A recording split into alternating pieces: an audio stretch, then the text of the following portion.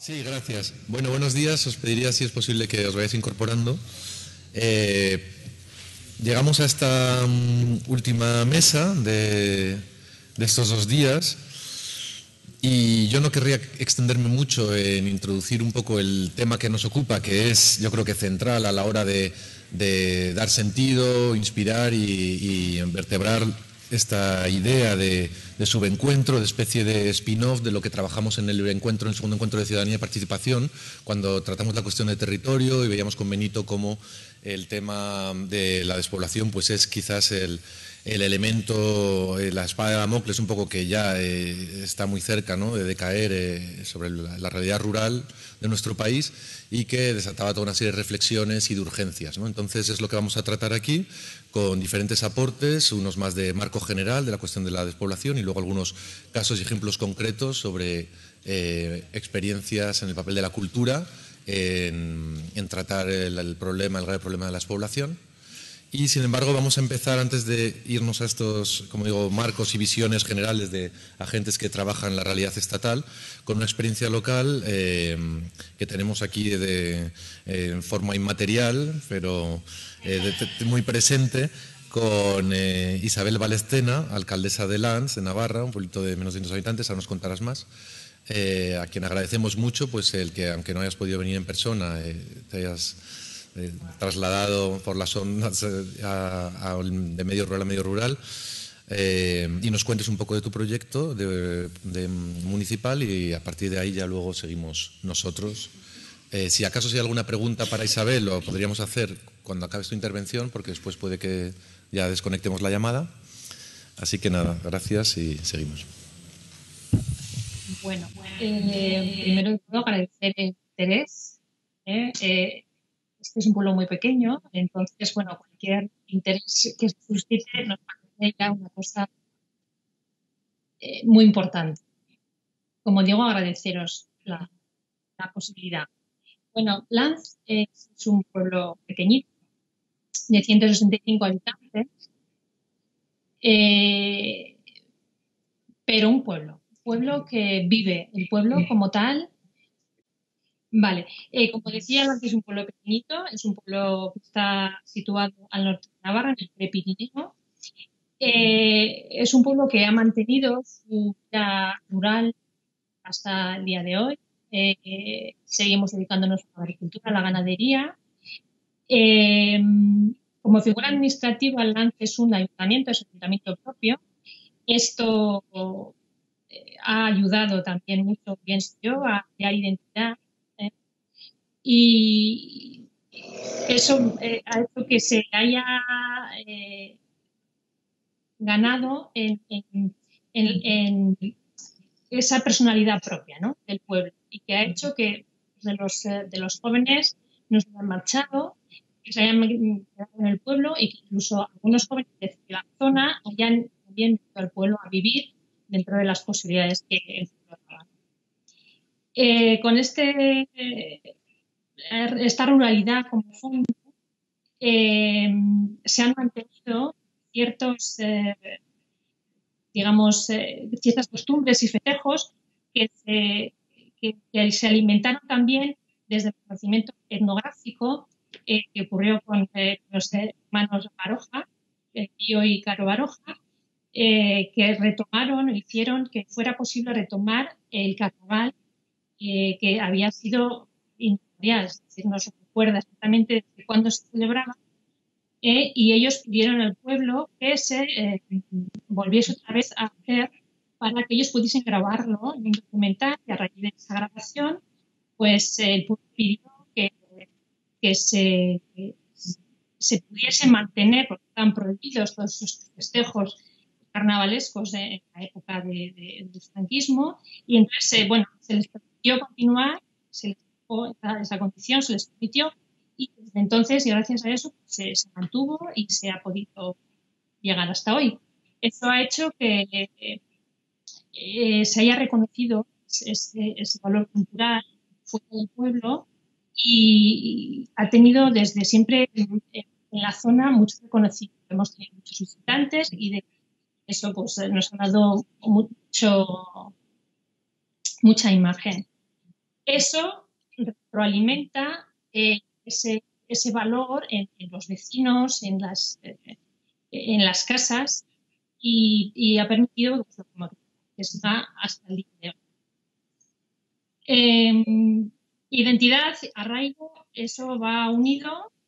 Entonces, eh, no hemos tenido problema de despoblación, sino que el propio pueblo, digamos, se ha blindado en el sentido de que se ha mantenido.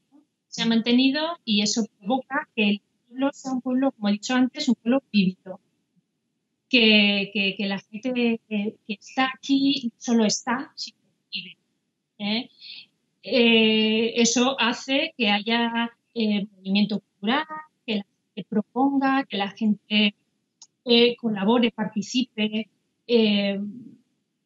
lo, que, lo que viene a ser pues, la, vida ¿no? cotidiana nuestra sociología es amplia en cuanto a que ahora mismo, como seguramente todos sabréis, eh, somos el pueblo, pueblo con mayor índice de natalidad de España. Es una cosa muy eh, puntual, eh, no tiene tampoco mucho mérito, pero también tenemos unos mayores, una cantidad de gente ya de, edad que aporta. Es decir, tenemos ese relevo generacional que, se, se aumenta por otras partes. ¿no?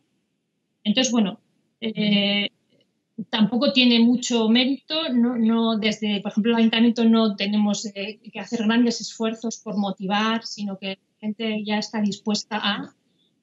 Eh, también el carácter de, la zona en Navarra en general, sobre todo en el norte de Navarra, el arraigo a la casa, a la tierra es grande y, lo, lo, valoran.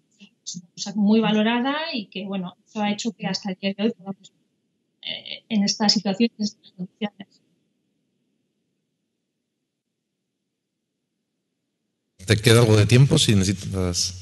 Eh, Yo quizás a lo mejor puntualizar, o sea, está claro que ahí se queda en el aire ¿no? Esa posible, ese posible vínculo entre el hecho del mantenimiento de la población y la alta natalidad con esos aspectos que decías, pues ya muy arraigados en la cultura, como es el caserío, ¿no? la, familia, el, la, amor a la tierra, y también la cuestión de cómo el carnaval eh, se ha ido reinventando. ¿Habéis hecho algún tipo de, no sé, estudio, valoración, eh, algo más que vincule más directamente eh, la, pues la riqueza cultural del municipio con esta realidad demográfica?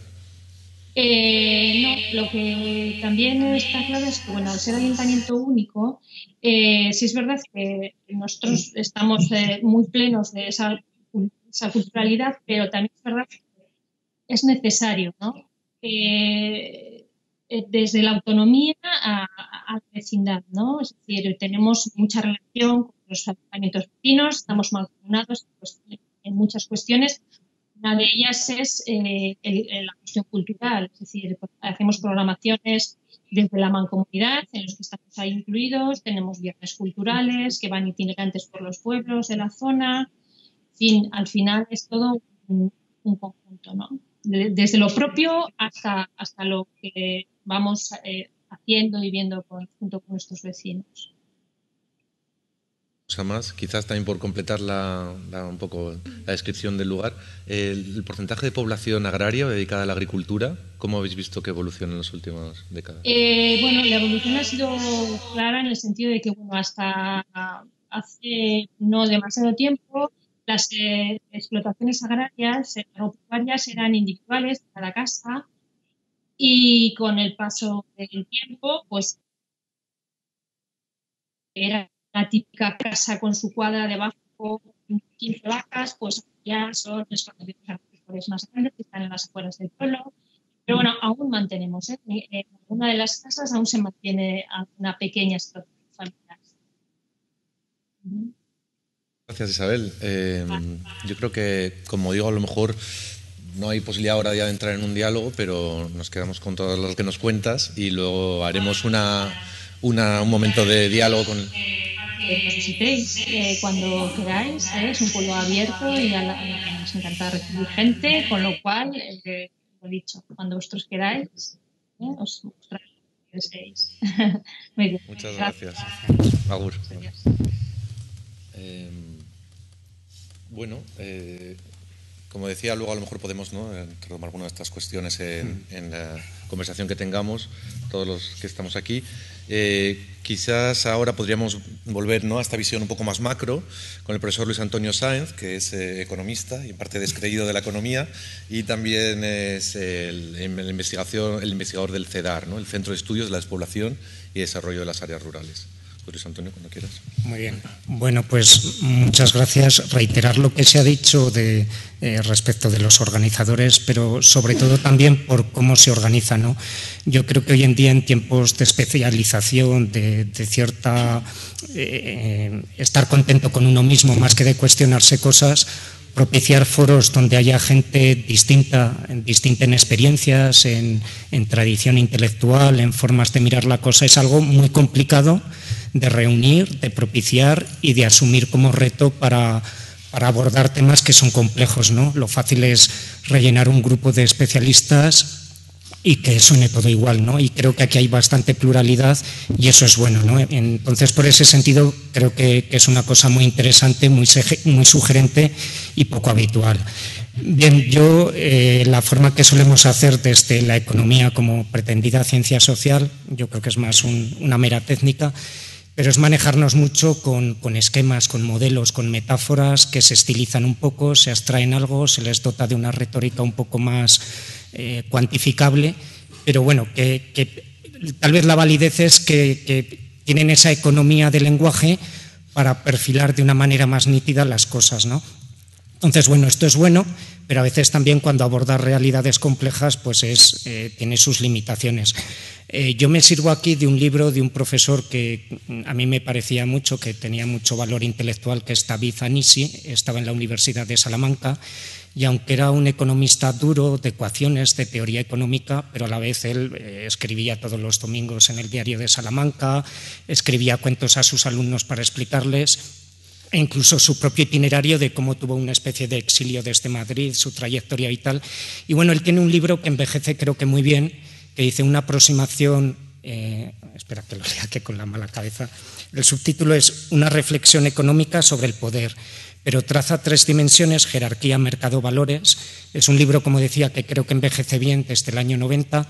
Yo casi todas las clases las empiezo siempre con él. Hay un artículo, si lo queréis más breve, que tiene también un título sugerente con esa metáfora evangélica de vino nuevo en odres viejos. Entonces lo que hace es eh, aplicar o la economía no es solo mercado, ni mucho menos, ¿no? La economía es también jerarquías, órdenes, cuando se dice, va, esto es espontáneo, la, libre mercado, la libertad, pues bueno, hay órdenes y siempre las ha habido, ¿no? Las hay desde el gobierno, pero también las empresas, lo que dice el jefe va a misa, ¿no? Y hay también otro tipo de jerarquías. Y bueno, normalmente cuando analizamos las cosas lo hacemos de esta manera bilateral, en este diálogo, ¿no? Y surgió ayer eh, pues si la, actividad cultural, hasta qué punto pues responde a estímulos del mercado, hay una parte que sí que es rentabilizable, mercantilizable, y, vemos ¿no? que hay gente de éxito o incluso países, ¿no? creo que ahora el, el lugar donde hay más salas de arte es Dubái. ¿no? Entonces, bueno, como hay una parte mercantil, y, que además rinde bastante y responde a una serie de, de marketing bastante lucrativo. ¿no? Hay otra parte, y tal vez es en la que nos manejamos más, que tiene este carácter de bien público, algo que si no contribuyen todos, pues la figura del freerider, del gorrón, de yo me aprovecho de esto y no se lleva a cabo, y ahí es donde interviene el gobierno protegiendo una serie de valores que, que, que tienen que ver con todos, ¿no? pues ese patrimonio inmaterial, material, que está ahí desde siempre, de muchos tipos, eh, paisajístico, arquitectónico, intangible. Y bueno, y nos quedamos en eso e incluso a veces se acentúa, ¿no? Eh, de alguna manera porque los políticos responden a, las, a, a, la forma de ser nosotros también como ciudadanos, como votantes, pues parece que lo que sale en las primeras portadas es el centro de interpretación enésimo, aunque luego no tenga contenidos, el nuevo museo con nueva arquitectura. Y bueno, a lo mejor cumple su función, pero, pero estaría ahí, ¿no? Esa, esa, dualidad. Bien, esto se utiliza prácticamente en toda economía. Ya os digo que es un esquema muy simple, pero que es válido para todo, ¿no? Para el mercado de trabajo, para lo que queráis analizar. Pero yo creo que omite una tercera pata, igual que las mesas como mínimo para que sean estables necesitan un trípode y que es decisivo y que esto también serviría para la cultura y que es más determinante. ¿no? A lo mejor deciroslo a vosotros que estáis en el día a día de la cultura y que con otros relatos pues ha surgido más o menos espontáneamente a lo largo de, distintas eh, intervenciones, pero que es decisivo, que son los valores. Los valores pueden ser de muy distinto tipo. ¿no? En economía hablamos mucho de reputación, credibilidad y esto no lo dicen economistas literarios, lo podéis ver en la página, en seguro que hoy en cinco días en la crónica de la bolsa hablan de la reputación de esta empresa, de la credibilidad y la prima de riesgo pues es cómo se valora el riesgo país. ¿no? Entonces, bueno, los valores pueden ser de muchos tipos, no todos son buenos. ¿no? Yo creo incluso es algo que luego querría criticar. Idealizamos muchas veces el mundo rural pasado y a lo mejor había valores como el machismo, patriarcado, autoridad, caciquismo. Entonces, bueno, hay valores buenos y malos, valores también mercantilizables. ¿no? Una marca no deja de ser un valor. Bueno, esto un poco como marco de, de dos minutos ya, vaya, pues estaba bueno. Esto en la cultura da mucho juego, ¿no? Eh, eh, entonces, bueno, yo veo que hay una parte mercantilizable que se ha derivado mucho hacia el turismo, que está bien, hacia la parte inducida, la propia industria cultural, pero el verdadero valor no es esto que cuando me dicen, pues las bodas de Isabel de Segura en Teruel han supuesto tanto dinero, o la Semana Santa en el Bajo Aragón, hablo de, mi lugar de origen, ¿no? A mí parece que la cultura, el verdadero valor es su carácter transversal, cuando sobre todo cumple la cuestión de la labor de cuestionarse. ¿no? El pensamiento siempre está de paso, no para asentarse. Entonces, eh, eh, ese valor de cómo la tolerancia, la creatividad, ¿eh? la tecnología es la tercera de Richard Florida, uno que explica por qué las ciudades triunfan, que lo mismo serviría para el mundo rural, porque San Francisco es lo que es, ¿no? sobre todo por la tolerancia. Incluso él crea el índice de comunidad gay, como un indicador de donde las sociedades son abiertas. Pues bueno, ese es el verdadero valor, a mi entender, de la cultura. ¿no? Eso eh, llevaría a revisar algunas cosas que hemos dicho aquí, porque yo creo que somos a veces un poco, bueno, disculpad la licencia, un poco nanistas con el discurso políticamente correcto. Entonces yo creo que la cultura a veces se le da también excesivo protagonismo según en tu ámbito en el que estás. ¿no? Ayer se hablaba motor de economía, yo creo que es excesivo. No, yo digo, o sea, es un condimento, a lo mejor es la sal que hace que el guiso esté bien, pero no puede sustituir a la carne. Ni puede, ¿eh? entonces hay burbujas, yo creo que en Aragón hay 300 centros de interpretación, pero muchos ya más y, y están en el limbo, no existen, ¿no? Ha habido una burbuja, puede haber también cuando el grupo de presión se apodera de la, de la agencia y dar una oferta excesiva o no adecuada a lo que verdaderamente necesita la gente, esa especie de internalidad, de gasto excesivo que está formalizado en diferentes lugares. ¿no? Hay también una disneylandización, ¿eh? ayer también lo aludí alguien, una idilio rural y no hay figura más idiota del enamorado idealizado. ¿no? Entonces, bueno, entonces, yo incluso se citaba ayer a Julio Llamazares, hablaba de Albarracín, de la Fundación Santa María, caso de éxito pero yo creo que está más cerca de ese modelo Albarracín Vais y ahora casi ninguno de Albarracín vive en el centro.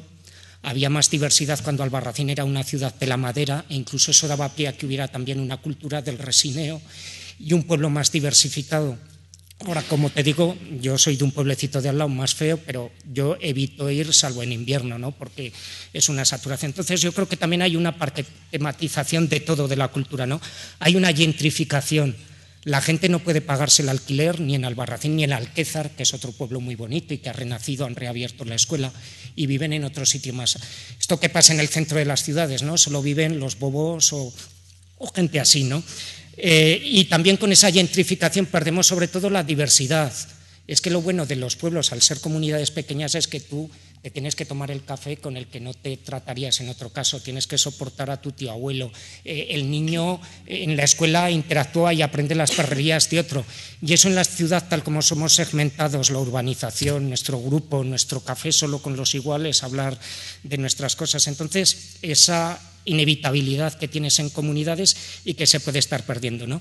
Y luego una perversión de la cultura cuando, aunque está todo bien de la identidad y de la raíz, pero cuando aparece el ellos nosotros. ¿no? Yo como siempre he tenido, pues por mis peculiaridades, no sé cómo soy ni quién soy, me cuesta saber dónde me ubico, pero cuando la cultura es más bien, yo tengo una cultura milenaria, yo no sé lo que quiere decir eso, porque todos tenemos un antecedente que existía hace mil años, ¿no? Algún vuelo tendremos por ahí.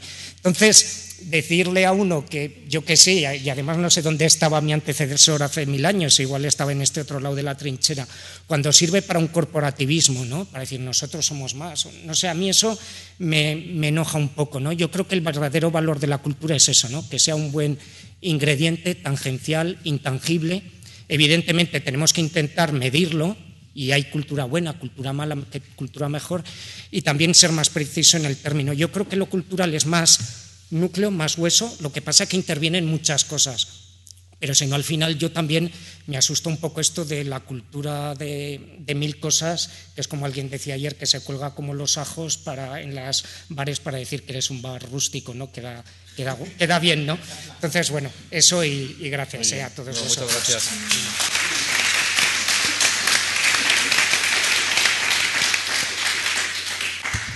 Gracias por puntualizar aspectos de la cultura y a lo mejor también eh, Judith Flores nos puedes contar un poco desde la Federación Española de Municipios, la reciente creada comisión de despoblamiento, pues un poco vuestra visión global y lo que se está llevando a cabo ¿no? y, eh, acciones. Muchas gracias, eh, Fernando. Buenos días a, todos y a todas. reiterar mi agradecimiento por la invitación desde el Ministerio de Cultura a participar en este foro. Los gobiernos locales tienen que estar en estos foros, así lo ha visto el Ministerio, así lo hemos recogido. Y mi enhorabuena a la Fundación que nos acoge. Es una experiencia, una práctica que yo quiero incorporar y desde luego trasladar y, exportar desde el ámbito que me toca trabajar como una buena, un buen hacer en el ámbito rural. Em, cuando eh, tengo que, venir, y además vengo encantada a hablar de despoblación desde el punto de vista de los gobiernos locales, desde la Federación de Municipios, pues siempre empiezo con muy malas noticias. Y es que cuando eh, te acercas al mapa municipal español, eh, tenemos motivos de preocupación, nos dan motivos de preocupación. Los 8.125 ayuntamientos que conforman nuestro país están atacados en más del 60% por un problema de despoblación grave. Eso significa que 4.995 ayuntamientos tienen menos de mil habitantes, están decreciendo la población y comienzan ya a eh, eh, acercarse a umbrales de peligro, incluso en la extinción de estas entidades locales. Daros cuenta además que de los 4.995 ayuntamientos que tienen menos de, de mil habitantes, 1.286 de estas entidades tienen menos de 100 habitantes. Algunos de ellos no van a ser viables, no van a caer en una situación y en un punto de no retorno. Tenemos que ser realistas. Coincido con el profesor en que nuestro discurso político tiene que ser siempre realista y además posibilista y tenemos que reconocer como país, como Estado, como política nacional que hay situaciones de no retorno. Frente a esto, lo que hace la Federación Española de Municipios y Provincias es crear en el año 2015, al inicio de este mandato, la Comisión de Despoblación. Es una línea de trabajo nueva, de la cual eh, pese a estas cifras, mm, particularmente técnicamente, yo estoy muy satisfecha porque en este año de trabajo ha podido eh, concentrar todo un pool, una línea de acciones, una, línea de encuentros eh, mm, realmente interesantes que nos, que nos hacen analizar esta situación, como os digo, de forma posibilista y que probablemente nos den alguna buena noticia, pese al inicio de mi intervención eh, en el sentido de crear ciertos espacios o ciertos horizontes de esperanza para alguna de las situaciones. La Federación, eh, la Federación Nacional Municipal, los gobiernos locales, deciden entonces eh, reivindicar y plantear que la despoblación sea un discurso permanente y se incorpore en la agenda política del país. Reivindicamos para ello una estrategia nacional, determinar que sea una cuestión de Estado y efectivamente el Gobierno de España en este mandato crea recientemente un órgano especial, comisionado especial frente al reto demográfico, comisionada, porque la, titular de este órgano nacional es, una mujer, y eh, mm, con la intención, con la finalidad, orgánicamente así, así determinada, de poder eh, afrontar los retos demográficos que tiene el país.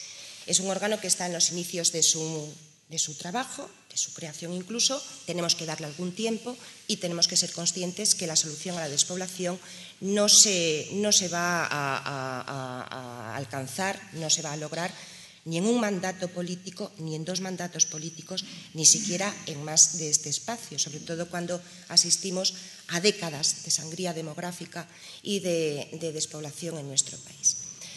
Eh, a la vez, conscientes de que la estrategia nacional no puede ser eh, aislada y en el contexto regional europeo en el que estamos eh, viviendo, donde Europa junto con Japón es la región continental que más sufre el problema de la, despoblación, añadido al envejecimiento, a la falta de, a la ausencia de una tasa de reposición generacional, en Europa existen espacios ya donde se debaten lo que ocurre es que son espacios que hasta ahora no, han sido ejecutivos, no han sido operativos, han sido simplemente foros de discusión. Es nuestra intención, todas las regiones europeas que estamos afectados por este problema, entre ellos incluyo a Portugal, incluyo también a Grecia, incluyo a Italia, incluyo, paradójicamente, y aunque sea muy desconocido, al centro de Alemania, Alemania es un país muy poblado y, sin embargo, que en, eh, su centro geográfico tiene, auténticos problemas eh, eh, de despoblación y las consecuencias que, se añaden a ellas. Y estas regiones deciden afrontar los nuevos retos europeos, sobre todo a partir de la siguiente estrategia, que será la, 20, la 2030, deciden em, plantear ante las instituciones europeas, ante los gobiernos europeos, ante el Gobierno europeo, perdón, eh, la voz de los poderes locales y regionales para ser operativos, para ser ejecutivos. Y entre ellos están, por ejemplo, entre las líneas eh, de, acción, de actuación, lo que son los famosos fondos regionales o los fondos de cohesión. Todos sabemos que las eh, líneas de fomento, los programas de incentivos a los territorios, a los Estados miembros, lo son a los Estados por debajo de los estados a otro nivel intermedio, que son, en nuestro caso, las comunidades autónomas, en el caso de Italia, las regiones, y ahora los gobiernos locales lo que piden es que estén presentes, que sean copartícipes en la toma de decisiones acerca de las nuevas líneas de fomento, de expansión y de la nueva gobernanza europea.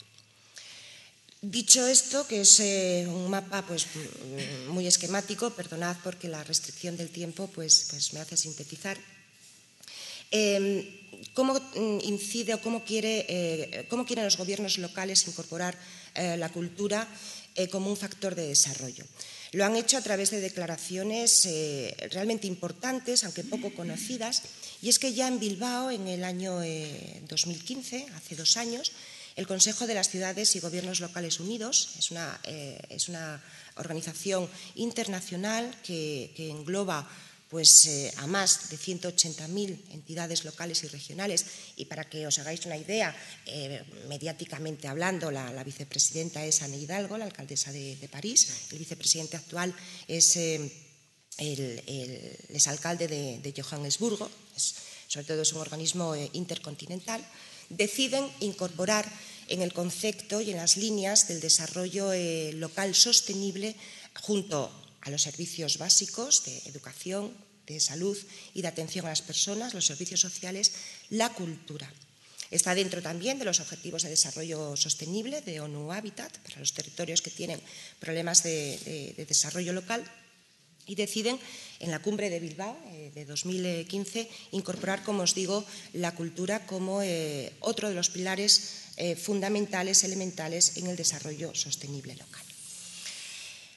A partir de aquí, ¿cómo tenemos que comportarnos los, territorios locales? En nuestro caso, los territorios municipales, entidades tan pequeñas que tienen 50 eh, vecinos, 38 eh, vecinos. Hay un caso muy paradigmático, un, sitio al que yo le tengo mucho cariño, Jaramilla, en Burgos, que tiene cinco vecinos y es ayuntamiento. Significa que esa entidad, pese a que tenga una población tan pequeña, tiene identidad local, se identifica con su territorio porque va unido también a cierta identidad cultural.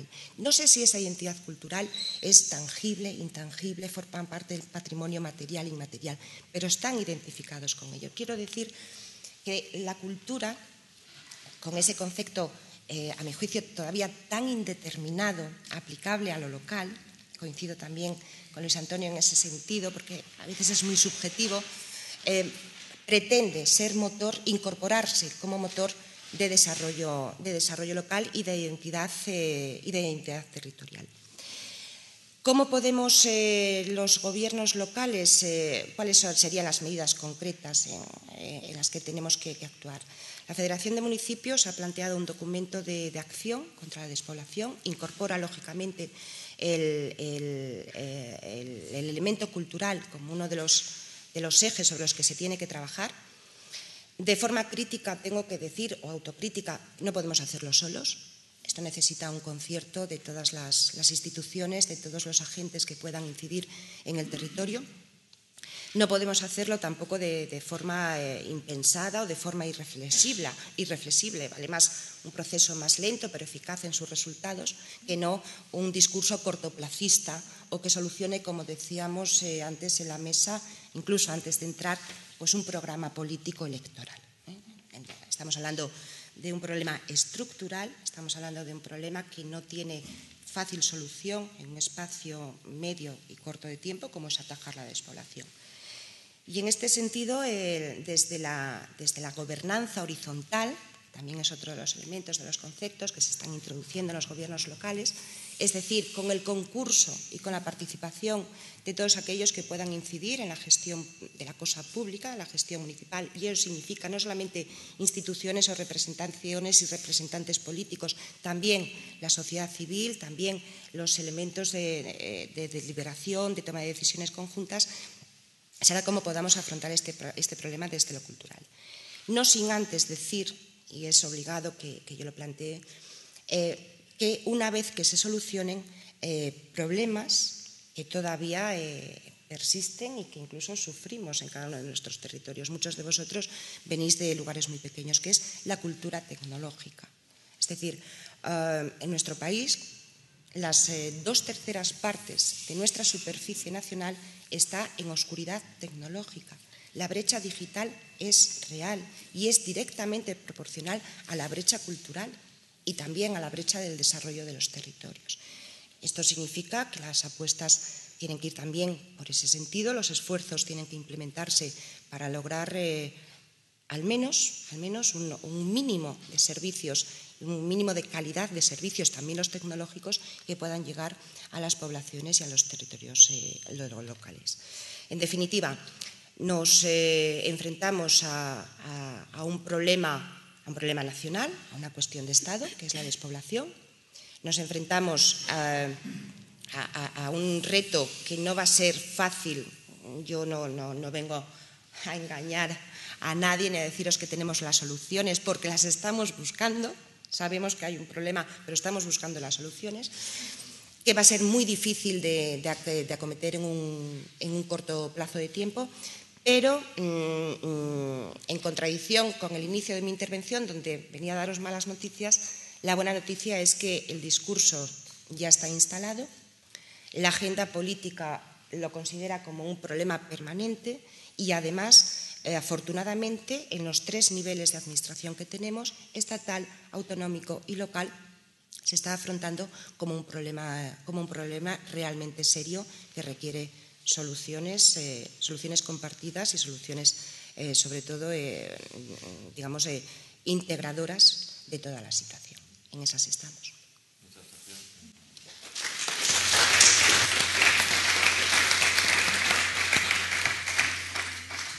Bueno, pues si os parece, escuchamos alguna experiencia concreta también desde el territorio. Pepi, eh, eh, Pepi perdona, eh, Díaz Villaverde es maestra en, Villaverde, aquí en, la provincia de León, de la Abadía, y bueno, nos puedes contar a lo mejor un poco desde tu agrupación del CRAE, ¿no? De Villaverde.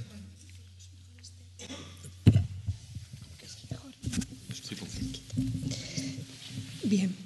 También yo quiero comenzar mi intervención, como no, agradeciendo el estar aquí al Ministerio de Cultura y mostrar mi satisfacción por estar en este espacio cultural que también nos ha acogido y que puede ser representativo de algunas de las cosas que se han dicho aquí.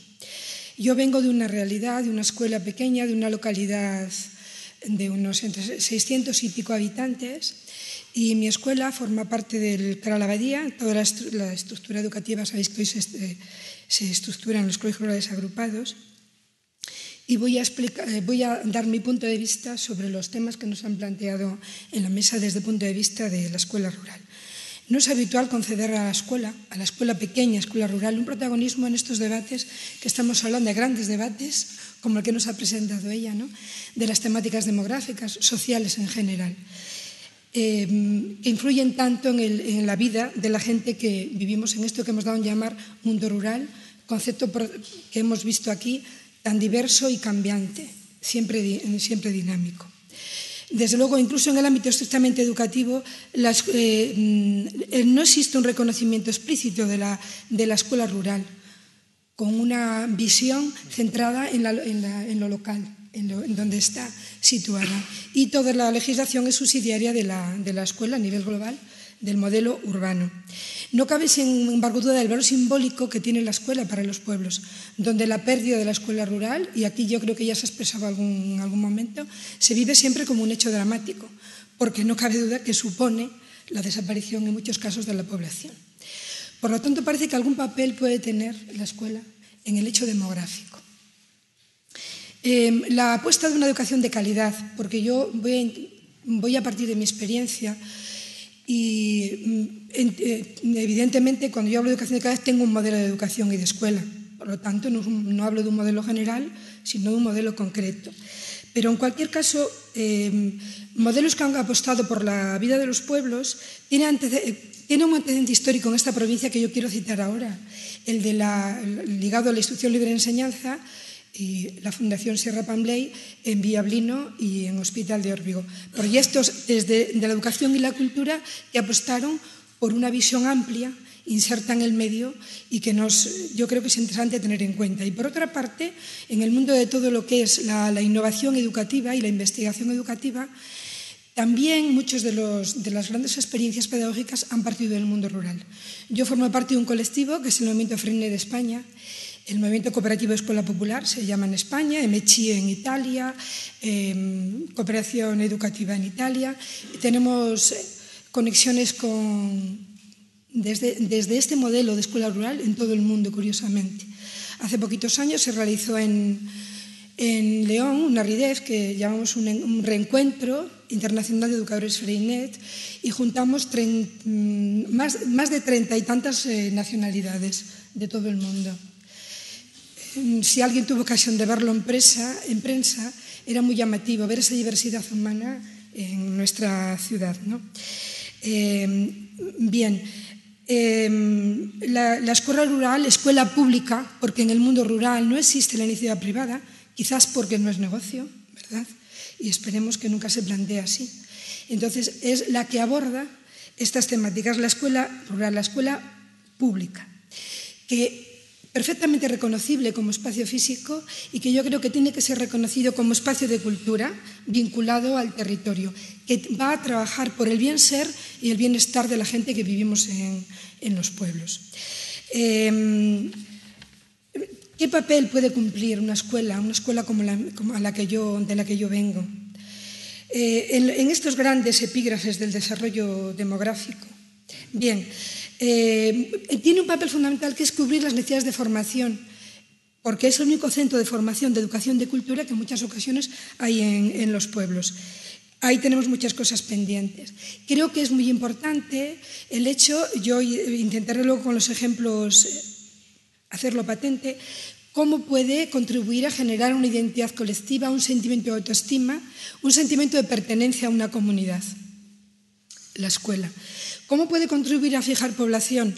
Pues evidentemente la asistencia de la escuela es determinante para la permanencia de la población.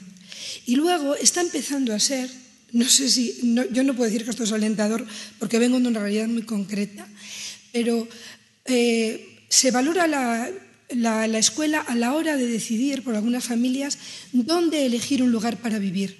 Y estamos empezando a recibir familias que retornados, por ejemplo, de otros países, yo esta semana he, recibido a una familia que venía de Irlanda, que quería conocer la escuela. Gente que viene de entornos rurales, incluso gente que se mueve del entorno rural al pueblo, porque ha decidido que merece la pena que sus hijos e hijas puedan disfrutar de un entorno como este. ¿no? Eh,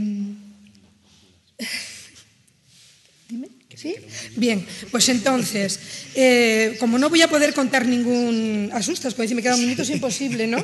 Es imposible. Bueno, ¿cómo funcionamos nosotros? Bueno, pues funcionamos por proyectos en los que intentamos integrar todos los, saberes, todo el contenido cultural de la población lo integramos en la escuela y al revés. Revertimos todo lo que hace la escuela a la población. Así, por ejemplo, bueno, pues nosotros tenemos como eh, uno de los contenidos etnográficos hornos, que hemos conseguido en un proceso que habría que contar, pero que no, nos daría tiempo. Eh, se han ido restaurando todos y cómo la escuela participa y elabora ahí una serie de actividades en torno a los hornos cómo se ha recuperado esa tradición y los niños y niñas van y cómo familias jóvenes están ya utilizando eso también como un recurso para su desarrollo de cotidiano. ¿no? Em, eh, otro, otro, de los, proyectos que tenemos es el conocer el territorio, que los niños se apropien de su propio territorio. Entonces, ¿cómo lo hacemos eso? Pues saliendo al territorio, pateándolo. Uno de los proyectos que hicimos en concreto es de conocer los límites de la localidad y, en ese caminar y hay muchas, muchas lecciones peripatéticas que aprender y muchas maneras de hacer. ¿Cómo revierte lo que sabe la población? Bueno, pues em, una, abuela que, sabe de música nos da una lección magistral, no magistral, eh, en cooperativa, nos da una lección de cómo se han desarrollado los instrumentos de cuerda y prepara con nosotros un concierto para luego, a su vez, mostrar a la población. Eh, un papá que es radiólogo pues nos enseña a los niños y niñas cómo es, ¿no? cómo toda esa experiencia que él tiene, cómo la revierte en la escuela. Y por otra parte, todas esas actividades que hacemos les damos una proyección pública, por ejemplo. Y por hacer, por hacer un pequeño apunte de valor también, pues nuestras celebraciones en torno al, tema de la paz, que hemos trabajado este año, pues, por ejemplo, ¿por qué lloran? Era la temática, ¿por qué lloran los niños y niñas del mundo en este momento? Eh, lo mostramos luego a la población. Hacemos un programa que ponemos en el pueblo y la gente asiste eh, a, conocer la investigación que han hecho los niños y niñas. Por ejemplo, la temática de la igualdad. Eh, es nuestro empeño por eh, eso que se ha dado en empoderar a las mujeres y a las niñas, pues estamos ahí trabajando fuertemente en la escuela y hacemos muchísimos, muchos trabajos de, investigación dirigidos con los niños y niñas eh, en esa temática. Entonces, este año, por ejemplo, era nosotras también. Nosotras también creamos, organizamos, hacemos economía, eh, etc. Entonces, ese revertir de, lo, de la escuela al territorio. Y al revés, creo que mm, nos está enriqueciendo, estamos generando comunidad y, me parece que es ese pequeño grano de arena que puede poner una pequeña escuela en hacer mm, más mejor vivible. Y un apunte importante eh, porque yo traía una serie de diapositivas revistas para, para presentar que acababa con un mural enorme que hicieron los niños y niñas eh, cuando cumplimos los 25 años de la escuela, que fue un, estupendo, una estupenda disculpa para un gran encuentro de la comunidad. Y el que eligieron por votación, nosotros sí que tenemos muy claro el derecho de los niños y niñas a la palabra, fue, en esta escuela somos felices. Nada más, gracias.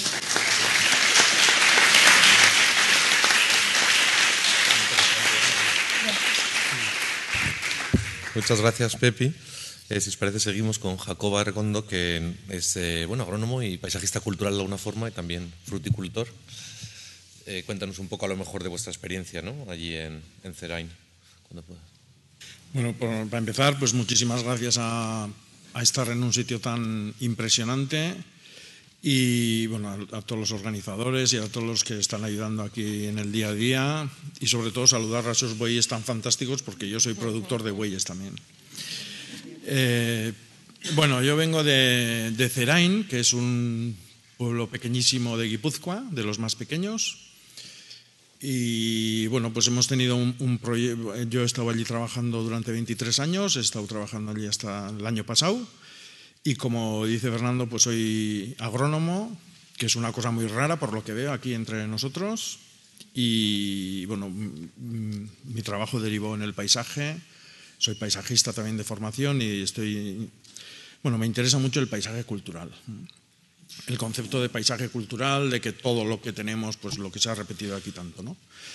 Bueno, Cerain es, eh, como os decía, un pequeñísimo pueblo de Guipúzcoa, eh, que a principios del siglo XX tuvo, llegó a tener 600 habitantes, ligado sobre todo a una gran explotación minera del hierro, que entre la, entre la Primera y la Segunda Guerra Mundial fue, hoy hasta la Primera Guerra Mundial fue explotada por empresas inglesas y entre la Primera y la Segunda por empresas alemanas y luego ya se cerró. Entonces, pues el, despoblamiento fue brutal. ¿eh? Pasaron de 600 habitantes a tener 200 eh, pues en, en 20 años. En, 1999 vienen las primeras elecciones democráticas después de la muerte de Franco y eh, se crea así un, conato de, revolución en el pueblo. ¿no? Eh, los jóvenes no quieren que salga el alcalde que ha estado gobernando con Franco y entonces pues crean una candidatura independiente, entran en el ayuntamiento, y empiezan a pensar, pues, ¿qué quieren hacer en el pueblo? ¿no? Pues lo primero, pues casas, porque claro, ya sabéis, allí en el hábitat disperso, la herencia del caserío siempre es sol, todo el caserío es para, para el hermano o la hermana mayor, que es el que se queda con todo, con los derechos, con los animales, con las casas, con los terrenos, con todo. Entonces todos los demás tienen que emigrar. Entonces, pues todos los demás, pues normalmente hasta el siglo XIX emigraban pues, a América, a los conventos, al y pues en el siglo XX pues a los pueblos de al lado, ¿no? que es lo peor que te puede pasar. ¿no? Tener que emigrar al pueblo que está a seis kilómetros, que es un pueblo industrial, pues Beasain, Tolosa, los grandes pueblos. ¿no? Y entonces pues lo primero que empiezan a pensar es crear una cooperativa para hacer casas. Eso trae que, los, que estos que tienen que emigrar se queden a vivir, vienen niños, empiezan a, reivindicar una escuela, que es justo en la época donde todas las escuelas rurales estaban cerrando en Guipúzcoa, consiguen que se abra una escuela, eso trae pues que a los niños pues hay que darles más formación fuera de las horas lectivas, eh, crear una biblioteca, una ludoteca para que los niños de los que están desperdigados en el territorio puedan seguir en grupo en el pueblo, la gente voluntaria es la que cuida de esos niños, entonces el concepto de que los niños no son de las familias, sino que son de toda la comunidad. Esto trae también la creación, eh, bueno, y, luego desde el ayuntamiento sobre todo se dedican en esa época pues a lo básico, ¿no? que es lo que nosotros llamamos calidad de vida, ¿no? que es que traer el agua, la electricidad, bueno, las cosas que, bueno, que si vives en un entorno urbano ni te planteas, ¿no? que, que tú te compras una casa y no tenga electricidad o que no tenga eh, el servicio de las aguas sucias a dónde van a ir, ¿no? Y sin embargo en el entorno rural pues es lo, más importante casi, ¿no? Después del tema de la escuela se crea una asociación cultural que se llama, bueno, llamamos el Grupo Cultural o Cultura Echea, que Echea en euskera es, ese por definición se, dice que Echea es casa, pero Echea es una estructura, es cualquier estructura que sostiene algo. ¿no? Entonces, cultura Echea es lo que sostiene la cultura, lo, que es de todos. ¿no? Porque si nosotros tenemos algo claro es que la cultura es la comunidad, no, hay cultura personal. Y entonces, pues este, este, este, grupo de cultura se empieza a preocupar por dar charlas, cursos, formación, se empieza a preocupar un poco por el patrimonio o sea, todo lo que es crear eh, energías endógenas, ¿no? lo que llamamos lo de eh, traer identidad. Y esto, esto, sería la segunda pata del proyecto. ¿no? El primero estaría el ayuntamiento, que trabaja temas de calidad de vida, y lo segundo, eh, la Casa de Cultura, que trabaja los temas de pues, energías endógenas, potenciación de, todo lo que somos. ¿no?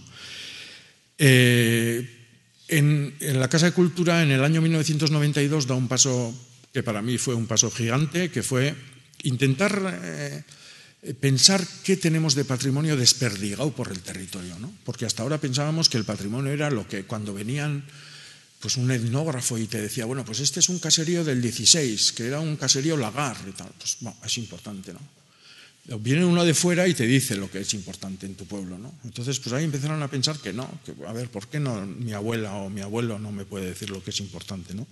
Entonces lo que hicieron fue durante un verano mandar a todos los niños de entre 12 y 18 años del pueblo casa por casa a que hicieran un catálogo de, de las cosas que veían. En esto nos ayudó la Sociedad de Ciencias Aranzadi y bueno, con eso conseguimos que todos los niños, para empezar, conocieran el territorio. Porque, bueno, pues eh, claro, un caserío está a 5 kilómetros, pero es que el otro barrio está a 5 kilómetros, pero en el otro sentido. Entonces, bueno, que conocieran los caminos para ir andando, no los que se utilizan con el coche, la toponimia, los nombres de los sitios, que, la gente muy mayor de otras casas eh, te explicara lo que es lo tuyo, no solo tu familia, relacionar las personas que veías, por ejemplo, en, la plaza o en misa o en una fiesta, dónde viven y en qué punto. Y entonces pues se consiguió hacer un catálogo de 2.500 piezas, eh, con esto se hizo una exposición en el frontón, que como estaba en el frontón que es abierto, pues la gente del pueblo tuvo que vigilarlo, digamos, día y noche durante 15 días. Y entonces esto fue impresionante, porque vinieron 13.000 personas a ver la exposición. Y entonces pues, la gente no, no, entendía. Fue lo más importante que ha pasado en Cerain nunca. Y, y, no entendían, pues porque, pues porque el patrimonio que ellos pensaban que, bueno, pues, no tenían nada de valor, ¿no? Pues había mucha gente que le daba valor, ¿no? Y no solo eso, sino que con eso se consiguió que ese patrimonio no terminara en las hogueras de San Juan o, vendiéndoselas al primer chatarrero que pasaba por casa, sino que se dieron cuenta que, que eh, por ejemplo, con el tema de la minería, ¿no? Pues como estaba ya abandonado, pues en una casa había un casco, en otra había una farola, en otro había una pala, en otro un pico de no sé cómo. Claro, desperdigado casa por casa no vale nada, pero si lo juntamos, cuenta nuestra historia. Y entonces eso fue un, descubrimiento. Entonces a partir de ahí se planteó hacer un museo que se abrió en el 93, el Museo del Pueblo. Y bueno, esto trajo pues, una revolución. Pero el museo, eh, el concepto del museo no estaba hecho para enseñar a la gente de fuera, sino para poder reunir el patrimonio más importante que teníamos nosotros para nosotros. Por ejemplo, viene la tía de Panamá, pues bueno, pues le vamos a enseñar, nuestra familia está aquí, la pieza más importante de, tu familia es esta. Entonces, eh, es esa visión interior. ¿no? Luego eso trajo, claro, el museo hay que limpiarlo. ¿Quién, cambia la bombilla cuando se funde? Eh, ¿Quién enseña, quién hace de guía cuando viene uno de fuera? Entonces eso trajo una primera aproximación al tema turístico. ¿no? Y ahí se empezaron a plantear, bueno, pues igual aquí hay un puesto de trabajo, o aunque sea media jornada. ¿no?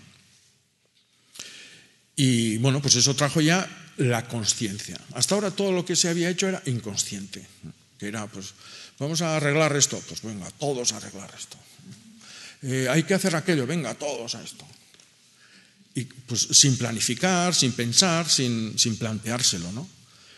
Y el tema económico, que fue el tercer paso, ¿no? el trípode que, también se ha planteado, eh, bueno, pues eh, eso fue lo que, lo que dio el salto definitivo. ¿no? Entonces, eh, bueno, se creó una fundación, una fundación público-privada en la que está la Asociación de Cultura, los amigos de Cerain y el, y el Ayuntamiento, y entonces esto, esto trajo que, que, de repente nos planteáramos, bueno, pues podemos crear puestos de trabajo en el pueblo, ¿no? Entonces, pues de ahí pues, ha empezado a trabajar el tema de una oficina de turismo, pero que a la vez es una pequeña tienda de productos básicos para la gente del pueblo. Entonces, no estamos haciendo turismo puro y duro, sino que el turista ve que esa tienda vende leche, que vende galletas, que vende las cosas básicas para el pueblo, y el del pueblo ve que lo tiene también porque hay turismo y vende mi queso, mi artesanía que se la vende al turista. Y bueno, pues ahí la fundación entró pues, en, los porcentajes de precios que hay que pagar a los productores agrícolas del pueblo, etcétera, etcétera. Por ejemplo, pues hoy en día en el País Vasco, un productor agrícola, la media de lo que recibe del precio de venta al público de un producto, de la, media, digamos, es el, 18%, y sin embargo nosotros le estamos pagando el 85%. El, el porcentaje que se queda el vendedor, que es la oficina de turismo, es el 15%. Bueno, esto trajo pues el, potenciar el tema de la producción de queso. Pasamos de un pastor, eh, de dos pastores que había, pues ahora en este momento trabajando el tema del queso hay 15 personas. Se, consiguió traer la comercializadora y el pequeño matadero eh, artesanal de, pollos de calidad eh, de todo el label del País Vasco al pueblo. Se, potenció la creación de un parque natural. Cuando todos los pueblos de Alau estaban haciéndole la contra al parque natural, nosotros lo estábamos estirando para que, a ver si la mayor parte del pueblo entraba dentro del parque natural. Y claro, ahí, ahí empiezan los temas políticos, ¿no? Y, para mí la clave política es que tú decidas todo, ¿no? Entonces, eh, pues bueno, luego también dentro del parque natural se creó un, uh, bueno, lo que os decía de las minas abandonadas, pues desde el pueblo se promocionó que eso se protegiera. Nos costó siete años de discusión con el gobierno vasco de, la protección de monumento cultural.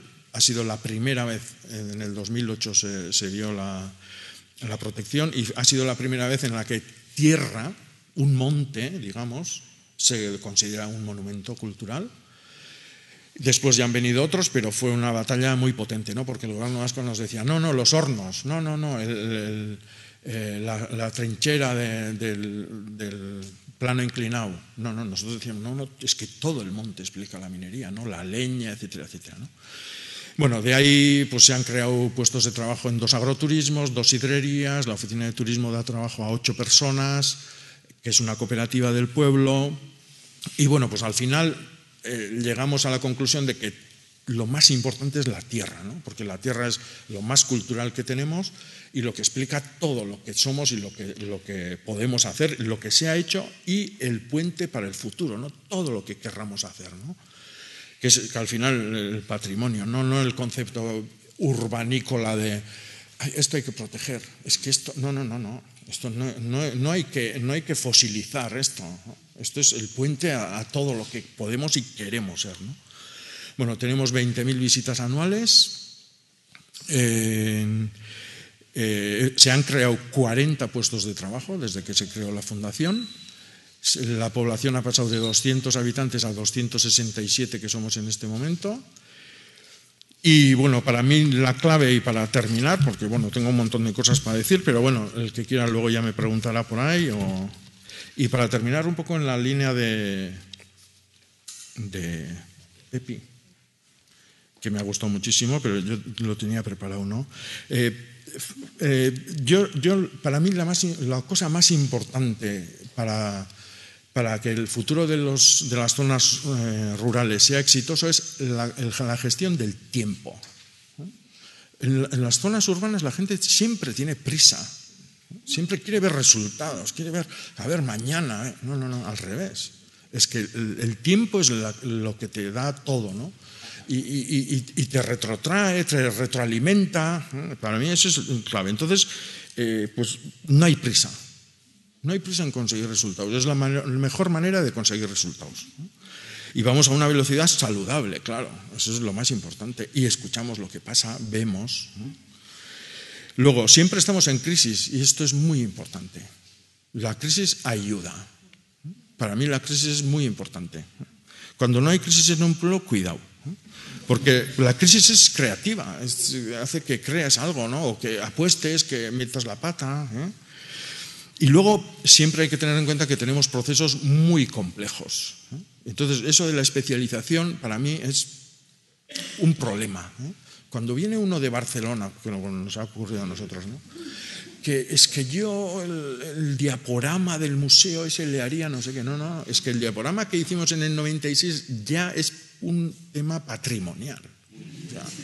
es que es así de simple, ¿no? ya no hay diaporamas de, aquel estilo, ¿no? Y, es del 96 el, que le pusimos en el museo. Entonces están, pero lo hicimos con súper conscientes. Están todas las personas mayores de 65 años que había en el pueblo en esa época. Y todos los niños de menos de 12 años. Que claro, ahora son los alcaldes, los que están en la casa de cultura, etcétera, etcétera. Bueno, entonces la complejidad trae vida, trae procesos biodinámicos, no planos y unidireccionales, que es el gran problema de, los expertos exteriores este, de, fuera. ¿no? Y luego esa complejidad, sin darte cuenta, se retroalimenta. De repente viene algo que... Y bueno, ya está. Y luego, pues, ah, haciendo lo que pensamos y lo que tenemos que hacer, eh, no, haciendo eh, pensamos qué es lo que tenemos que hacer, qué es la clave. O sea, ¿qué, queremos hacer? No, ¿cómo queremos arreglar? O sea, siempre estamos viendo el pasado, ¿no? Como que, arrastramos un problema. No, no, no, no. Si todo es vida, a un niño, ¿qué le vamos a transmitir nosotros, no? Pues solo futuro, ¿no? Para mí eso es la clave. Y en el País Vasco hay una palabra muy, muy clave que se utiliza para mí hasta la prostitución, que es austolán, no sé si os suena de algo, y es el trabajo en comunidad. Hay que, hay que limpiar el camino, pues vamos a hacerlo en comunidad. Se quema un caserío, pues entre todos vamos a arreglarlo. Eh, una plaga se ha llevado el rebaño de uno, bueno, pues cada uno vamos a aportar tres ovejas para... Todo con una base negativa.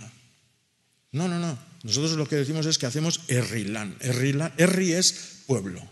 Estamos construyendo pueblo. Estamos haciendo, nos, transportamos al futuro, ¿no? Y eso para mí es la clave. Y eso mantiene vivos nuestros sueños, porque claro, soñamos los proyectos, ¿no? Estamos hablando del futuro, ¿no? Y luego lo pasamos bien y luego, sobre todo, somos mucho más felices que en cualquier otro sitio.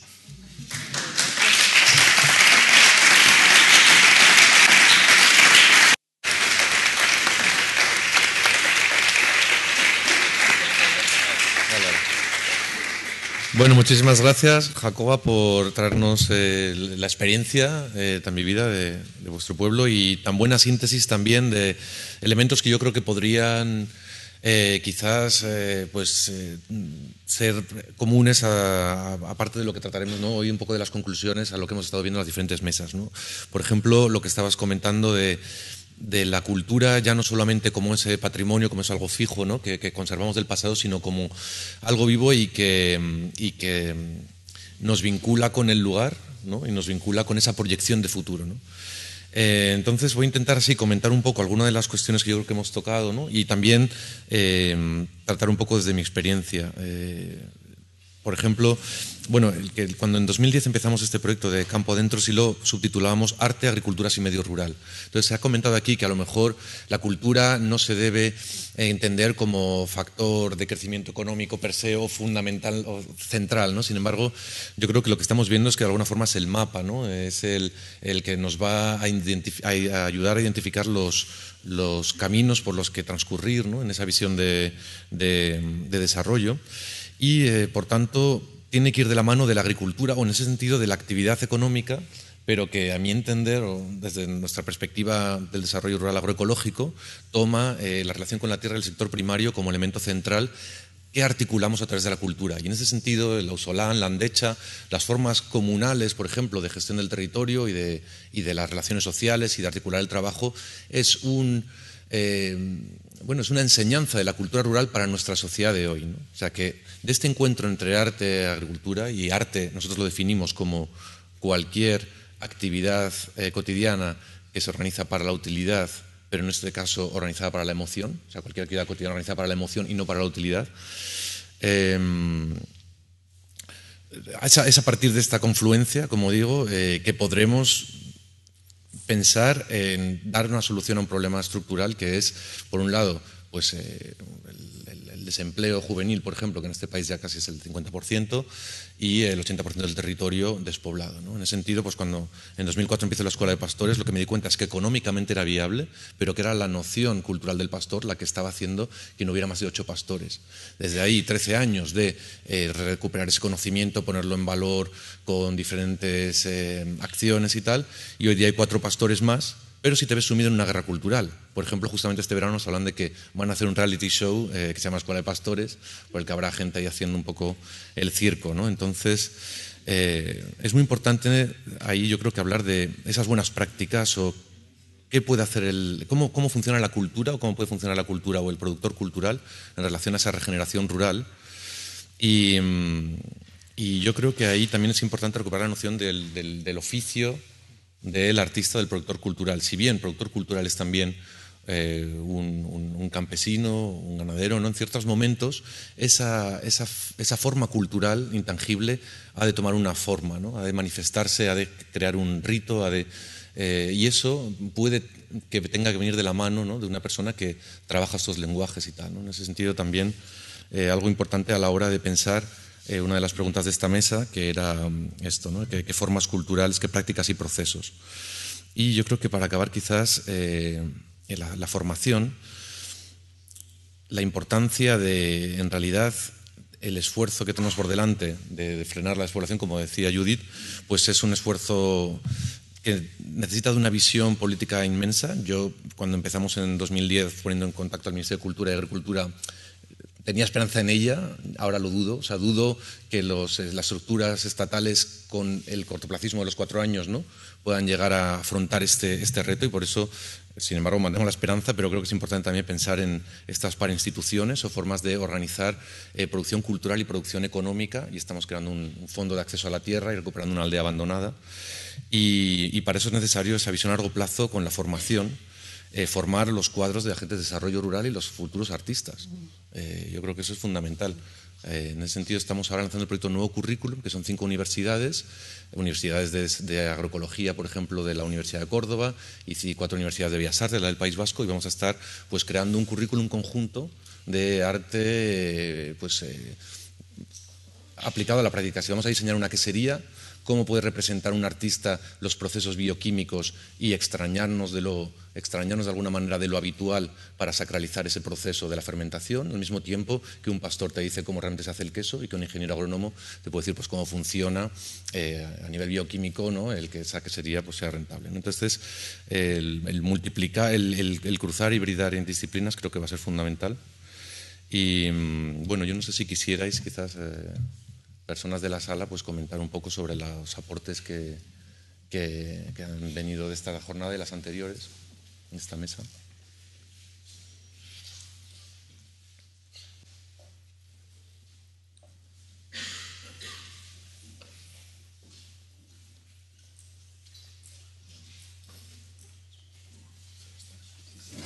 Si quieres presentarte también. ¿Ya? Soy Luis Costa de Portugal, de Vinodal. Estuve en una de las mesas anteriores. Yo quería decir solo una cosa. El problema demográfico de las zonas rurales me parece que es de los problemas más uh, esquizofrénicos que hay. Porque todos somos producto del despoblamiento, de la reducción demográfica, o casi todos. Si miramos a nuestras vidas personales, vamos a mirar lo que fue el, cambio social de, los últimos 40 y, y 50 años. Esto quiere decir también que no hay ningún drama si algunos pueblos desaparecen. Eso también es la historia de la civilización desde los humanos. Entonces, ni todo debe ser salvado. Eso lo tengo también seguro. Otra cosa es generar energías positivas como el ejemplo de, Jacoba, o sea, que, nos Entonces, pero digo, ni en todos los lados eso va a pasar, ni debe pasar, porque es muy, muy, muy difícil y la historia de la vida, la historia de, de nuestros países, de nuestras eh, regiones fue un proceso continuo de construcción, destrucción y eso continuará a pasar, es normal. No hay ningún drama si algún pueblo desaparezca, porque también fue el producto de decisiones individuales de inmigración. O sea, el libre arbitrio también cuenta mucho. Vamos a hablar con todos los que nacieron en ese pueblo. ¿Por qué no vuelven? Entonces, hay también muchos temas ahí complejos y entonces creo que lo mejor que hay que hacer es aprovechar donde hay energía, vamos por ahí, los demás, pues si no están, si no están, no están comenzamos un nuevo. Hablaste, yo creo que bien, hay factores de atracción y factores de expulsión, ¿no? Hay que sopesar ambos. Ha habido casos dramáticos, pero que es cierto que, eh, o sea, se citaban ayer los casos de los pantanos, casos de reforestación que fastidiaron a los ganaderos, pero es cierto que al final, sobre todo, son las expectativas personales las que pesan mucho, ¿no? Y las que hacen ahora, incluso habiendo a veces mucho empleo en el medio rural, con la movilidad es gente desde el mundo urbano el que los lleva a cabo. ¿no? Entonces, yo creo que ha estado un dato bastante importante que muchas veces cuando ayer se preguntaba por qué estos pueblos están despoblados, pues porque nadie quiere vivir allí, así de crudo. ¿eh? Luego, ¿por qué nadie quiere vivir allí? O sea, no es que se agote la respuesta ahí, ¿no? Entraríamos en un debate, no es así de simple. pero tal vez los factores de expulsión que en algún momento sí que fueron dramáticos, alguien hablaba ayer, no disponer de agua, con lo, todo lo que eso implica no disponer de luz, pero hoy en día hay bastantes cosas que están mejor en el medio rural que en muchos barrios periféricos de una gran ciudad. Entonces, bueno, hay que sopesar todo. Claro, pero pese a que está mejor a nivel de servicios, ¿qué es lo que hace que a lo mejor una persona joven no se instale allí y que dice, bueno, es que pues la visión cultural dominante me indica que en la ciudad es donde se generan las nuevas formas culturales. La medida que consigamos entornos rurales vibrantes, ¿no? haciendo ese anglicismo, en los que se está generando cultura viva, ¿no? pues la gente se va a sumar. Las expectativas vienen de muchos lados. ¿no? Lo que apuntaba Pepi, nosotros publicamos en la revista casi siempre estamos persiguiendo a alguien que venga ¿no? a los neorurales, pero ahí fue y lo hicieron antropólogos en Cuenca, en un pueblo, porque la gente se quedaba. ¿no? Y bueno, intervenía un poquito el empleo, pero lo determinante fue algún maestro que les abrió la mente a valorar su comunidad, su territorio. ¿no? Entonces, esa figura del maestro y a la inversa, aquello que describía Delibes en algunas novelas, ¿no? cuando se te identificaban como de pueblo, te, te sentías menor. ¿no? Entonces, yo creo que la escuela es un, es un gran potencial, pero sobre todo para abrir la mente y luego el libre arbitrio.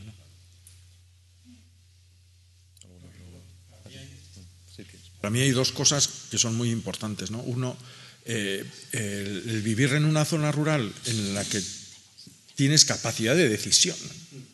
O sea, nosotros, Cerain, siempre lo comparamos con un portal en San Sebastián. Un portal 200 personas que viven, entran todos por la misma puerta, primero, segundo. Esos, esos 200 no deciden absolutamente nada de su vida, nada. Solo de qué color van a pintar la fachada. Pero ni la escuela, ni su plan urbanístico, ni, ni dónde quieren aparcar, ni qué tipo de... Nada. Esa capacidad de decisión te da sitio, te da lugar, te no sé, te da una potencia que, para mí es impresionante. Yo siempre digo, uno de San Sebastián, me encuentro con uno de San Sebastián en Barcelona y me dice, no, no, yo soy de San Sebastián.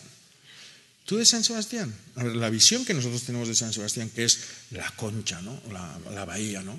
Pero si vives en Herrera, en Videvieta, en Añorga, en, en sitios infrahumanos, con una calidad de vida desastrosa, lejísimos de lo que tú estás transmitiendo cuando dices que eres de San Sebastián, ¿no? O sea, fingen todo el tiempo. Es que es, mentira, es verdad, es mentira, ¿no? En vez de decir, no, no, vivo en un suburbio, que es la primera palabra que deberían de decir, de una ciudad que me maltrata, ¿no? Entonces, el abuso, pero es que viene muy al cuento. Ayer Raúl citaba un premio Nobel a Martía Sen, que casi no parece economista, es filósofo moral, y dice que la definición de desarrollo es ser dueño de tu propio destino. Y vosotros lo ejemplo más que la renta per cápita, ¿no?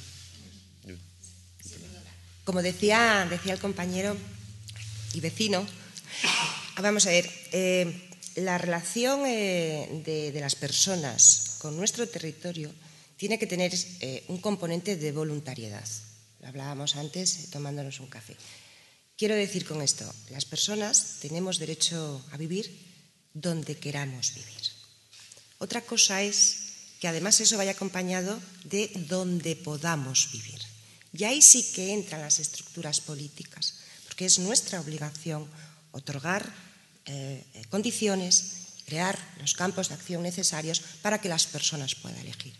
Y yo en mi intervención eh, decía que hay situaciones de no retorno. Hay situaciones que no vamos a poder salvar y tenemos que ir con discursos reales y con discursos posibles. Hay situaciones que no van a, volver. Ocurre que las cifras a veces asustan mucho y yo no soy de cifras, no, tengo la disciplina del, profesor, no soy de cifras. Pero claro, cuando tú ves eh, tu mapa nacional y ves que de, eh, de tus estructuras locales, la mitad de ellas, y hablamos de 4.000, de 4.000, mm, yo no quiero ponerme en el discurso del drama, pero como decía al principio, sí de, un motivo de seria preocupación, de seria preocupación. Sin olvidar lo que decías, y, que yo mm, es, cierto porque hablamos de políticas para las personas, ¿no? como es el tema de la despoblación, eh, el tema de, retornar esta inversión. Insisto, hay un componente de voluntariedad y tenemos derecho a vivir donde, dónde queremos vivir. Y tenemos derecho a decidir que no queremos vivir en este sitio. Y mientras tanto, en esa toma de decisiones, los poderes públicos tienen que acompañar algo a las personas. Y es decirles, ¿quieres vivir aquí? Yo te ofrezco oportunidades dentro de, de los potenciales o de los recursos que pueda ofrecer el territorio. Porque no nos engañemos, hay territorios yermos. Hay territorios yermos que se dedicarán a otra cosa, pero no a que sean el lugar de localización o el lugar de asentamiento de una población. Un poco también tanto. Eh, Compañero. Sí, perdón. Eh, yo creo que está interesantísimo el tema. Eh, ciertamente que nos va a cortar rápidamente porque hay que acabar. Pero eh, iba eh, a abundar en, en, lo interesante, lo interesante. Perdona por lo de censor, pero alguien tiene que actuar. Eh, en la, en la, escuela y quienes eh, bueno, pues, eh, estamos en, está en otro ámbito que no es la escuela, la universidad, el instituto, etcétera, etcétera, bueno, los agentes sociales. En el fondo, ¿qué queremos tener? Es, yo creo que es, hoy debería ser una pregunta para saber qué que va a haber en, los territorios o quiénes van a quedar en, los territorios, digamos que hoy, eh, de los cuales hoy tenemos tanta preocupación. Ciudadanos o consumidores. Pero ya eso en, en digamos, eh, colgado en unos parámetros mucho más amplios. En la sociedad del futuro a corto plazo, ¿qué queremos tener? ¿Ciudadanos o consumidores? Entonces, quizá eh, esa, la respuesta a eso nos puede traer a abundar en el tema de la, de la, despoblación de otra forma, con otras visiones y con otras. El drama está ahí. O sea, el tema de la despoblación hoy es un drama que lo vivimos de una manera, quienes vivimos en el mundo rural, en, algunas, en algunos territorios, de manera terrible y dramática. Y digo esto porque eh, cuando se vierten tantos esfuerzos personales, profesionales, tantas ilusiones eh, en entornos pues más o menos amplios, eh, bueno, pues después viene la, la, realidad de la sanidad, la educación y eh, todo lo que abunda en eso. ¿Por qué un señor que tiene 70 años no puede tener, no debe tener los mismos y la realidad es esta, no tiene los mismos servicios que tiene el mismo, la misma persona que vive en el mundo rural, en el mundo urbano, perdón, en la ciudad. Un señor que vive, eh, bueno, pues en, a 90 kilómetros de la ciudad, eh, en un territorio rural, bueno, pues en muchísimos casos de nuestro territorio nacional tiene unos servicios muy, muy precarios en comparación con el señor que vive en un núcleo más urbano. Entonces, estas, estas cuestiones son las que nos llevan eh, después a desesperarnos.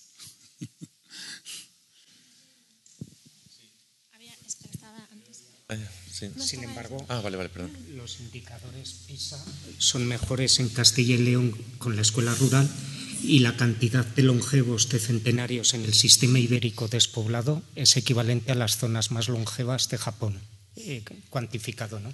Entonces, a lo mejor sí le da un ictus, pero no tiene problemas pulmonares. ¿no? Es, es, es, esa esquizofrenia o ese que no puedes tener todo en la vida. ¿no? Y solamente por vincular lo que decía Judith y a lo que comentaba ayer Luis Alfonso, pues sí, el campo se despuebla, igual ambientalmente eso supone una mayor recuperación de fauna salvaje y tal, pero hay una cosa que yo creo que es crucial, estratégica, que es nuestra sociedad está en un proceso de transición también muy importante de una dependencia de combustibles fósiles otros modelos de energía que no sabemos. ¿no? Entonces la soberanía alimentaria es crucial, es decir, territorios que ahora mismo organizaciones ecologistas defienden como que podrían reasilvestrarse, es decir, que, que, que pasten bisontes europeos recombinados genéticamente a partir de vacas autóctonas y que la gente vive en las ciudades y compra, coma de supermercados, es algo también que pondría en cuestión. Mi maestro, este Eduardo Sevilla Guzmán, me decía, bueno, no te preocupes que la gente despuebla y repuebla, preocupados de las semillas y las razas autóctonas, ¿no? variedades que ahora mismo están en manos, un patrimonio muy adaptado a cambios en estabilidad climática y tal, y que de no haber custodios, pues realmente se pierde y nos deja además en una situación de indefensión a todos los niveles. Hola, em, eh, yo soy Oscar y me parece muy interesante algunas cosas que están surgiendo aquí. Me gustaría colocar un, detalle o un matiz respecto a algunas cosas que se están hablando cuando, cuando se habla que a lo mejor desde la institución estoy percibiendo el mensaje de que hay que favorecer mm, eh, las condiciones para que se pueda retomar la vida, repoblar, eh, frenar. Y yo considero que, que uno de los caminos que debería emprender eh, la institución, el Estado, cualquier institución, es abrir sitio. Eh, es decir, ahuecar el ala un poco, ¿no? hablando así en plata. Es decir, quizás sí el Estado debe, debe trabajar en, generar sinergias que ayuden a cambiar modelos productivos que no nos eh, hipotequen respecto a, a la economía global. quizás sí debe estar fomentando mm, algunas cosas y en otras quizás debería estar retirándose de la presencia. Y eso iría conectado con la capacidad de educarnos en un futuro para ser más autogestionados de alguna forma. Porque una cuestión de recursos primero, eh, crecimiento demográfico global, acceso a los recursos, eh, que es lo que está nutriendo el estatus y el crecimiento y, las guerras que están surgiendo a nivel mundial. En la lucha por los recursos cada vez va a ser más presente, por lo que parece. La capacidad de autogestionarnos en un territorio donde es muy difícil poner un motor en, un arroyo porque te ponen una multa, eh, es, no sé, eso sí que es esquizofrénico. ¿no? Es decir, tenemos el recurso, no lo podemos utilizar. Eh, quiero hacer agroecología, me tengo que hipotecar para hacer agroecología.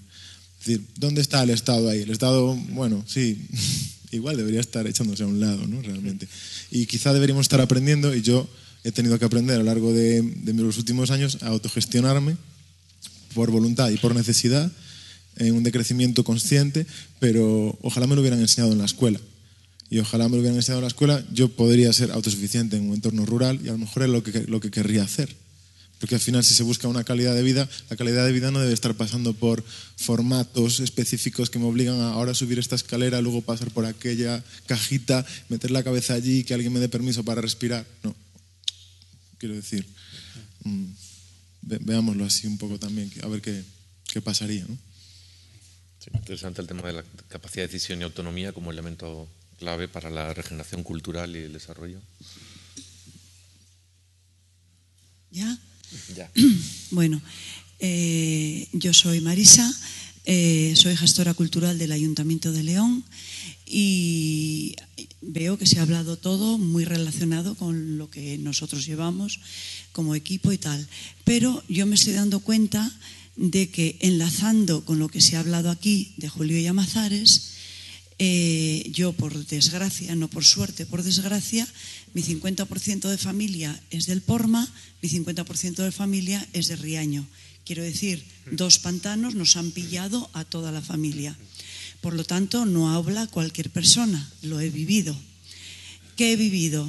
Que en concreto el pantano de Ría, del Porma no han durado aproximadamente eh, entre dos, tres, cuatro años, prácticamente se han muerto todos los que tenían más de 70 años al llegar a León, es decir, al llegar a una ciudad o al llegar al punto donde se les ha llevado en Palencia, que era eh, algo imposible de vivir para un montañés. Bueno, ¿A dónde quiero llegar con esto? Hemos hablado de la escuela fundamental, hemos hablado de la sanidad fundamental, zona rural, pero ¿quién ha pensado en hablar de, no de cada pueblo, pero sí de toda una comarca, de, mm, crear eh, residencias para personas, una residencia sencilla, una casa que exista en el pueblo simplemente adecentada, para que esas personas mayores mm, se queden en su zona, y creen población, puesto que sus hijos van a venir a verles, sus nietos van a venir a verles,